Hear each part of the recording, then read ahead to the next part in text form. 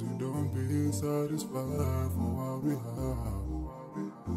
We have different dreams in our life. We dream of getting rich, being famous, being scholars, and so we dream of